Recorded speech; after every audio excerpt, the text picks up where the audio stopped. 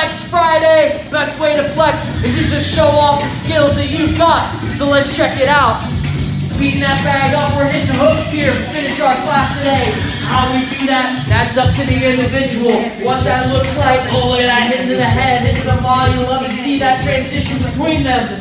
Keep the energy up. Look to get more explosive. Look to have a little bit more energy behind each strike.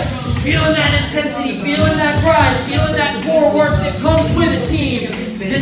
final push, the final blast. We have 24 seconds on the clock. What do we do when we know we have short time left? How do we approach? How do we get after it? Show me, show the world, y'all. That's what it's about here at the end. Yes, team, loving that, loving that. Keep it going.